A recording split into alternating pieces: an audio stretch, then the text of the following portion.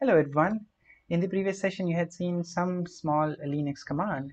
In this session as well you're gonna see some more Linux command. So the first command you're gonna see is uh, echo command. Well with the help of echo you can display any message uh, you are printing in the terminal. So if I type hello everyone it is going to be printed in the terminal. It will display it. See okay the next thing you can do with the echo is you can send this message to a text file like this echo hello everyone I am new to Udemy. If I do this and I can send it with the help of this greater sign symbol with a to a file file uh, Udemy.txt. Maybe this is okay to me. So if I send it, eh, you see that whole uh, hello everyone I am new to Udemy. It has been sent to the Udemy.txt. Okay. If you want to see that the text is being there in the Udemy.txt, you just need to open the file and folder. I'm sorry. Go to the open folder and here is uh, if you type udemy you see udemy.txt if you open it you will see the same message has been printed right? Now this is a very longer procedure. I mean it's like you go file and folder and then check the udemy.txt and open it. It's a time consuming process. What you can do there is another command to check whatever the uh, content is there in the file. You can check with the help of a command known as cat command. The cat command is used to see the internal content of any file so it will see it will give you the glimpse of any file. So if I write cat and then simply write udemy and open see you can you can display that message in the in the terminal itself. It is not going to be like one line. It can tell you I mean it can, it will display all the lines. I mean if I go for cd etc I'm sorry cd slash etc I'm so sorry. And now if I do cat password you can see that whole thing is being pr provided over here. With the help of cat command you can do that right uh, the next command uh, you can use like if you if you do not remember what commands you had uh, typed in the terminal you can simply type history. Will tell you all the commands that you had previously typed in the in the terminal window right? This is a very cool stuff here in the uh, terminal. So uh, next command is you can use uh, something called as head and tail.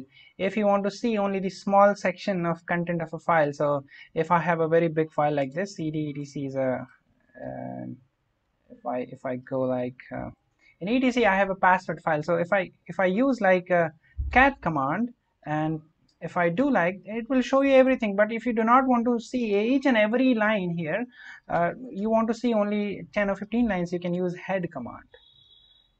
You can see that it will show you the uh, small section of a file only small section small content only uh, from the upper part okay from the very upper from the very beginning it will show you okay not from the tail part. If you want to see the uh, lower portion of the content so what you can do is you can type tail password. So it will it will it will display the uh, content from the very below okay from the very very be below it will show you the content. And the head will show you from the very beginning likewise okay.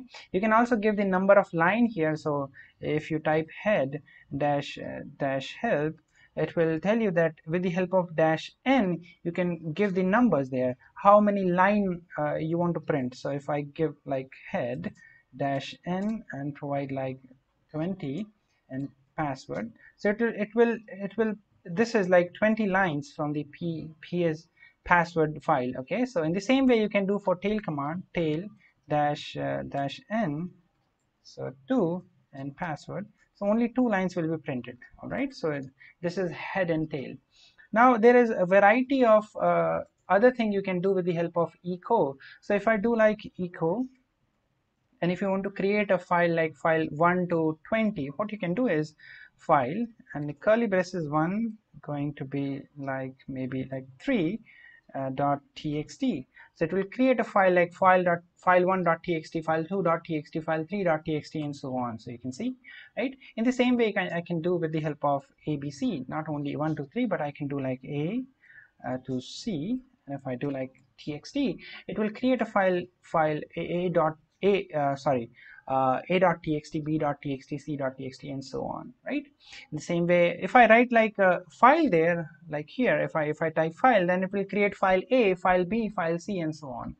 If you want to create a, a mixture of uh, file like uh, like this echo uh, file and there is a mixture um, a comma b and then a mixture of um, maybe 1 comma 2 so the file is going to be created as like file a1.txt file a2.txt uh, maybe file b1.txt b2.txt and so on. You can see here file a1.txt a2.txt b1.txt and b2.txt likewise. I think there is some mistake that i had provided. That's why file only file is being printed over here but uh, i can delete this uh, here. This is the command. Uh, another thing you can do with the echo command is you can print the command. So if I if I type like echo and percentage user so it will, it will print the the current user if I type that. So I, am a root user. That's why it had printed the root. The same thing I can do like echo and if I type home so it will print the working directory I mean the home directory for me. So you can see I am in the root directory right now and you can also check that with the help of pwd command so print working directory right? Uh, you can also do like echo um, maybe the path on the current path. Uh, so it will print the path for me right? So in the same way you can do like uh, maybe uh, you can like can type like this. Echo today is uh, percentage and then date uh, plus percentage. Yeah I hope that worked and uh, it will oh, I think I had done some mistake again. There's no blank spaces.